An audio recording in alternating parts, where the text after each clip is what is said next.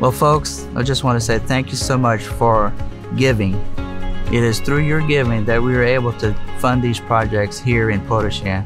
Potosham has uh, really uh, deepened my heart, and I know if you came down here, you would you would see the uh, needs here as well. But thank you for giving the Georgia Barnette offering.